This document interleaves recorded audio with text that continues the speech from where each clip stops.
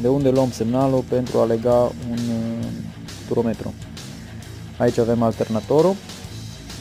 Pe a el venea așa ceva.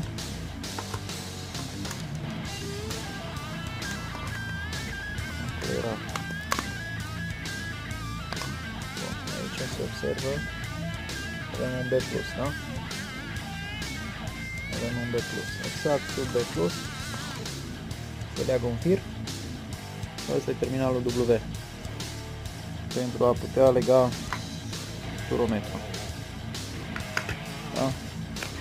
Firul verde de la turometru vine legat exact pe cel uh, de la alternator. Roșu plusul, baterie, negru masa, iar galbenul va fi cel uh, pentru iluminare atunci când punem pozițiile. Uh, dau o gaură în capac, exact acolo deasupra, scot terminalul W și leg direct din alternator spirometru.